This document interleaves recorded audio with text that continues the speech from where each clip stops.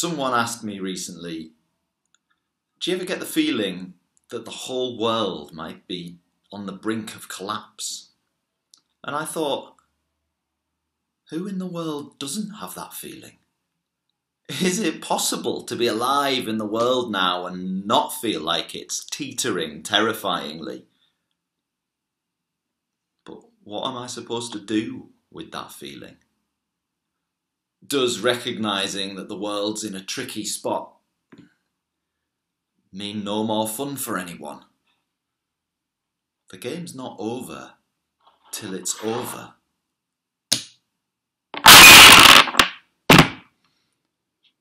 then maybe you can start again.